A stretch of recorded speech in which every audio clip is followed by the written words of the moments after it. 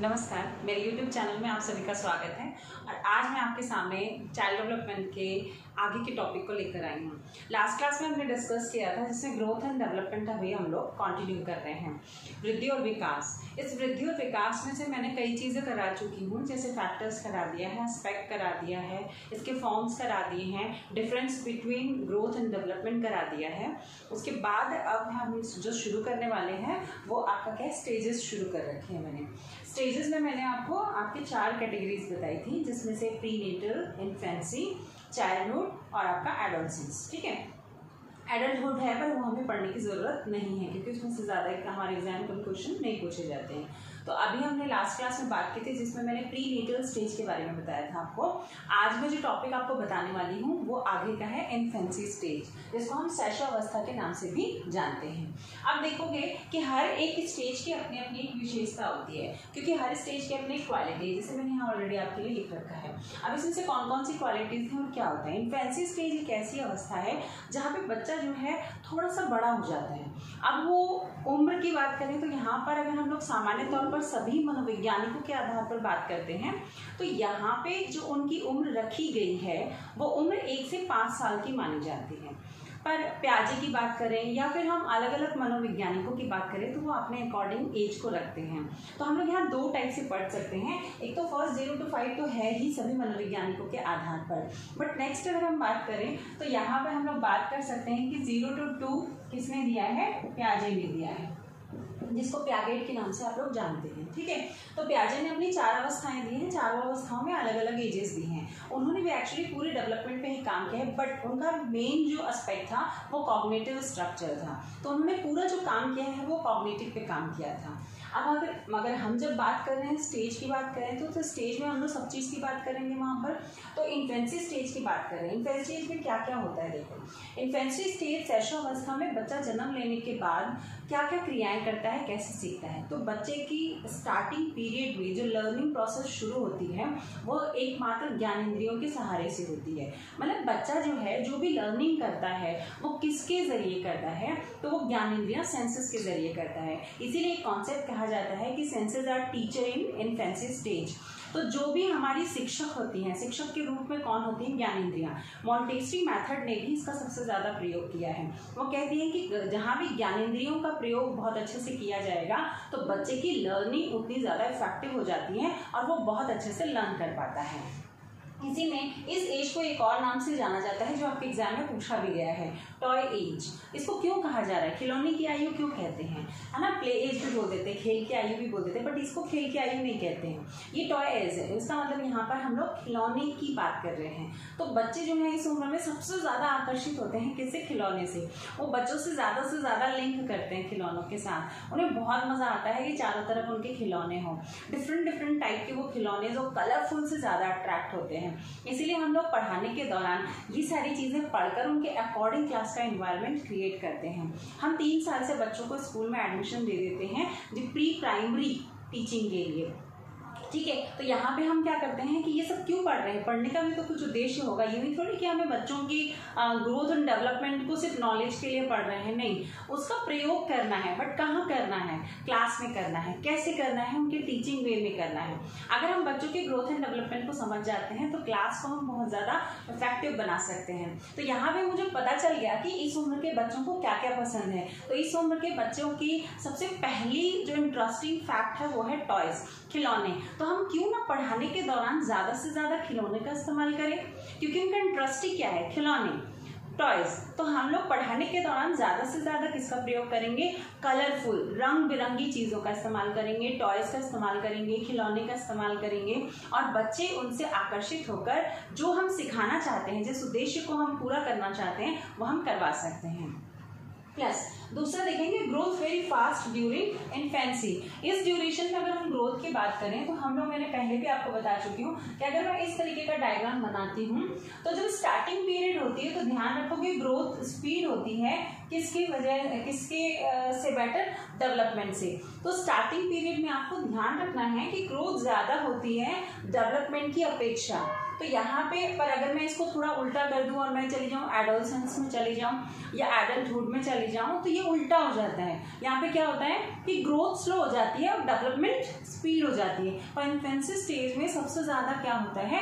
Growth होता है। पर बाल्यावस्था में दोनों चीज़ें होने लग जाती हैं। ग्रोथ भी चलता है और डेवलपमेंट भी चलता है। दोनों चीज़ें बराबर होती है। तो डेवलपमेंट ज़्यादा स्पीड होता है। आपकी आ, कहना चाहिए एडोलसेंस की अपेक्षा किसमें बोलेंगे? डेवलपमेंट ज़्यादा होगी चाइल्डहुड में या इन्फेंसी स्टेज में? नहीं होती है उतनी ग्रोथ ज़्यादा होती है। चलो, आगे देखेंगे। अब यहाँ पे ग्रोथ वेरी फास्ट ड्यूरिंग तो अब एक चीज़ देखो आप, कि इस सेकेंड पॉइंट का हमारी टीचिंग में क्या लेना देना है? सेकेंड पॉइंट का इंपॉर्टेंट ये है कि टीचर को ये पता चल गया कि इस ड्यूरेशन में इन्फेंसी स्टेज के दौरान बच्चे की जो शारीरिक क्रियाएँ हैं वो ज़्यादा अच्छी होनी चाहिए, बच्चों को ज़्यादा से ज़्यादा एक्टिविटी कराना चाहिए, ज़्यादा से ज़्यादा फ़िज़िकल एक्टिविटी कराना चाहिए। देखो ग्रोथ ज़्यादा हो रही है तो मैं क्या दूँ? क्लास में कैसा इन्वायरमेंट क्रिएट करूँ कि बच्चे का जो ग्रोथ हो रहा है एक प्रॉपर ट्रैक पे लेके जाऊँ?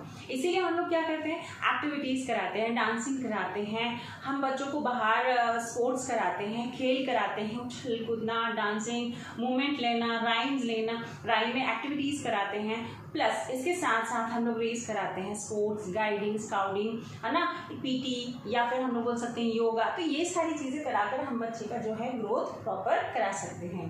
नेक्स्ट है होल्डिंग एन ऑब्जेक्ट बिल्कुल, इस एज में बच्चा जो है ऑब्जेक्ट को होल्ड करने लग जाता है, चीज़ों को प्रॉपर तरीके से यूज़ करने लग जाता है और इसका उपयोग करना ही सीख जाता है बट उतना प्रॉपर नहीं।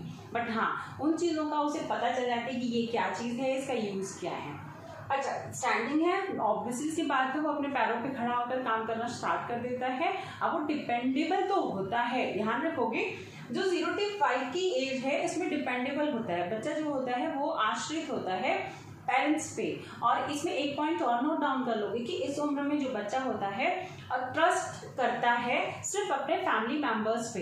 वो जल्दी से बाहर वालों को, लोगों पर ट्रस्ट नहीं करता। उसे समाज सोसाइटी से कोई लेना देना नहीं होता। वो सिर्फ़ अपने आप की फैमिली प्लस अपने कुछ क्लोज फ्रेंड्स होते हैं, जो नेबरहुड होते हैं, उनमें से कुछ क्लोज फ्रेंड्स होते हैं, उनसे वो ज़्यादा अटैच रहते हैं। तो इस उम्र में फैमिली फ़र्स्ट होती है एंड सेकेंड उसके फ्रेंड्स होते हैं। बाद में स्कूल जाने के बाद, बच्चे की लाइफ में फैमिली फ्रेंड्स और स्कूल फ्रेंड्स दो फ्रेंड्स दो समूह बन जाते हैं। एक जो फैमिली के नियर अबाउट जो फ्रेंड्स बनते हैं, वो, जैसे नेबरहुड वाले और एक स्कूल्स के जो फ्रेंड होते हैं वो तो दो फ्रेंड्स अलग अलग कैटेगरी में वो बनाते हैं अपने पीयर ग्रुप ठीक है? वो बाद में पढ़ेंगे, अभी तो फ़िलहाल स्टार्ट होगा नहीं यहाँ पे, सिर्फ़ उसे अपनी फैमिली ही एक से पाँच साल तक में उसको कोई ग्रुप नहीं पता, उसको कोई आस पड़ोस नहीं पता, उसको सिर्फ़ अपनी फैमिली मम्मी, पापा, बस यही पता होता है। अच्छा नेक्स्ट क्या है? ये क्वेश्चन आया हुआ है टॉडलर्स टॉडलर्स का मतलब क्या होता है? देखो 12 से 36 महीने के बीच के जो बच्चे होते हैं, उन्हें हम टॉडलर कहते हैं। हिंदी में फ़िलहाल नहीं पूछा जाता है इंग्लिश में याद कर लीजिएगा टॉडलर तो आप इसको एक से तीन साल भी बोल सकते हो। तो वन टू थ्री इयर्स के जो बच्चे होते हैं, उन्हें हम क्या कहेंगे? टॉडलर्स के नाम से जानते हैं। इसमें बैबर्थ स्कीमा हो जाता है। स्कीमा क्या होता है? प्लानिंग एक स्ट्रैटेजी हो जाती है। क्या चीज़ है? कैसे है? तो बच्चे के अंदर अपने सेंसेस के द्वारा जो नॉलेज ग्रहण करता है है ना, कि क्या है, क्यों है, कैसे है तो थोड़ा सा जो जानकारियाँ हैं, जो नॉलेज है, जो अपने माइंड में ऐसी एक्वायर करता है, उसको हम लोग स्कीमा कहते हैं। स्कीमा का मतलब क्या है? किसी चीज़ के बारे में सोचना, है ना? या प्लानिंग सोचना इट मीन्स प्लानिंग भी नहीं बोल सकते, सोचना, उसके बारे में नॉलेज होना। अब है इमिटेशन इसमें बच्चा जब क्या करेगा? अब बच्चा खुद तो कुछ आ, वैसे प्याजे की बात करें तो प्याजे कहता है कि the child can construct their own knowledge बच्चा अपने स्वयं का ज्ञान का निर्माण करता है। तो बच्चा बाय बर्थ जो है इंटेलेक्चुअल प्रोसेस स्टार्ट कर देता है। आपने सुना होगा कि पाँच साल की उम्र तक बच्चे का जो माइंड होता है वो नाइन्टी डेवलप हो जाता है। तो 90 प्रतिशत बच्चा जो है अपने दिमाग को यहाँ पर क्या कर लेता है? डेवलप कर लेता है। तो हम लोग कह सकते हैं कि नब्बे प्रतिशत जो है बच्चे का दिमाग डेवलप हो चुका है। एक से पाँच साल की बात करते हैं तो हम लोग, ठीक है?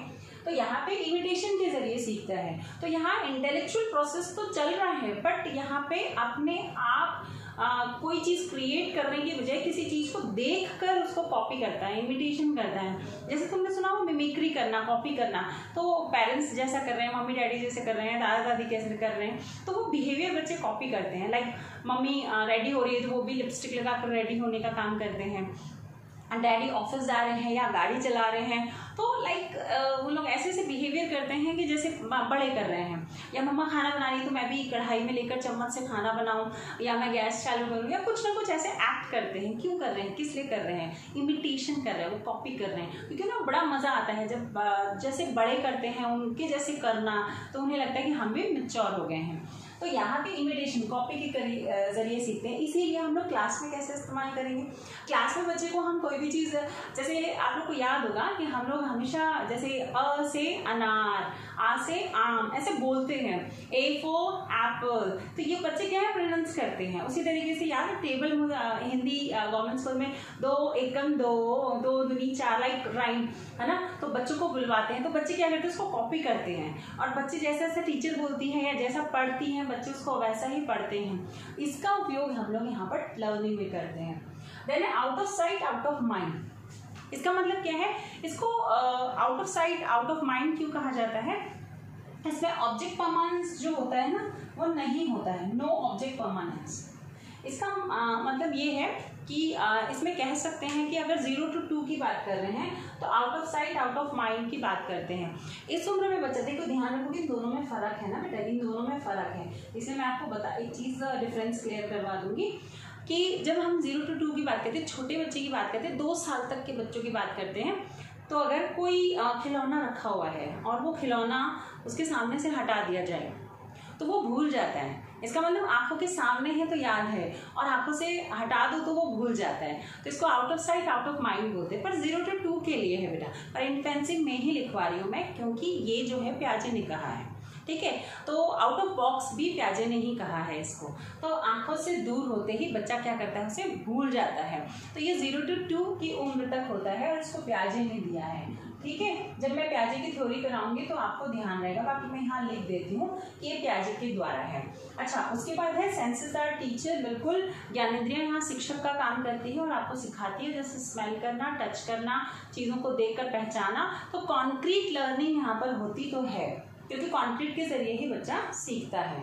एंड देन लास्ट हम लोग ऑब्जेक्ट परमानेंस अगर हम लोग ज़ीरो टू फाइव की बात करते हैं, पाँच साल तक की बात करते हैं किसकी बात कर रही बेटा मैं? ज़ीरो टू फाइव की बात करते हैं तो ऑब्जेक्ट परमानेंस हो जाती है वस्तु तो स्थायित्व मतलब चीज़ को देखकर बच्चा भूलेगा नहीं। अभी मैं कह रही थी out of box out of sight out of box मतलब सामने से हटे और भूल गए। बट ऑब्जेक्ट परमानेंस जो है, अगर ज़ीरो टू फाइव बोला जाए, दोनों में डिफरेंस है बेटा। ज़ीरो टू टू प्याजे ने कहा है? पर ज़ीरो टू फाइव में भी प्याजे ने ही कहा है। जब बात करते हैं हम लोग आगे की तो दो से सात की अवस्था होती है प्री कन्वेंशनल स्टेज वहाँ पे उन्होंने कहा है कि ऑब्जेक्ट परमानेंस हो जाता है।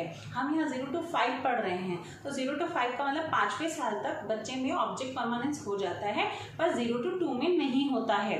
तो out of sight out of box का मतलब ही है ऑब्जेक्ट परमानेंस नहीं होना, पर यहाँ पे हो जाता है। इसका मतलब पाँच साल के एंड तक बच्चे में ऑब्जेक्ट परमानेंस आ जाता है, उसके सामने से कोई चीज़ हटाओगे तो वो पूछेगा कि कहाँ गई? या फिर आ, उसके लिए रोएगा चिल्लाएगा या मुझे उसको लेना है इस तरीके का बिहेवियर करेगा। तो ध्यान रखोगे मैं दोनों के साथ कंपैरिजन करा रही हूँ ज़ीरो टू फाइव और ज़ीरो टू टू क्योंकि ज़ीरो टू फाइव को ही हम लोग मान्यता देते हैं और प्याजे या अलग अलग जो थॉट्स दे रखे हैं उनके अलग अलग मान्यताएँ हैं। तो आप सबको खिचड़ी नहीं पकाओगे। जहाँ जैसा क्वेश्चन पूछेगा आप वहाँ पर किसी की मान्यता के आधार पर पूछेगा तो आप वहाँ पर ज़ीरो टू टू के अकॉर्डिंग प्याजे के लगाना। अगर नहीं पूछ रहे किसी की मान्यता तो नॉर्मल कॉन्सेप्ट आप लगा सकते हो। ठीक है? तो यहाँ पे ये ऑब्जेक्ट परमानेंस भी प्याजे ने ही दिया है बेटा। तो ऑब्जेक्ट परमानेंस इस उम्र में पाँच साल तक की उम्र में हो जाता है। इसलिए यहाँ पे ये बात मैं आपको बता रही हूँ। मेरे ख्याल से इंटेंसिव स्टेज आपको क्लियर हो गया होगा। इसकी इसकी नॉलेज रखने से हम अपनी क्लास की इन्वायरमेंट को और ज़्यादा इफ़ेक्टिव बना सकते हैं और बच्चों को समझने में हमें आसानी होगी और जितना हम बच्चों को समझेंगे, उन्हें समझाने में और उतनी आसानी होगी। उम्मीद करती हूँ आपकी क्लास आज की क्लास आपको समझ आई होगी। नेक्स्ट क्लास में हम लोग जो मोस्ट इंपॉर्टेंट चाइल्डहुड है, उसके बारे में पढ़ेंगे। क्योंकि चाइल्डहुड की दो स्टेजेस हैं। दो पार्ट्स में डिवाइड किया गया है और दोनों में से बहुत ज़्यादा क्वेश्चंस पूछे जाते हैं। तो वहाँ भी मैं आपको प्याजे के साथ कंपैरिजन करके करवाऊँगी ताकि आप दोनों में क्लियर कर सकें। नमस्कार।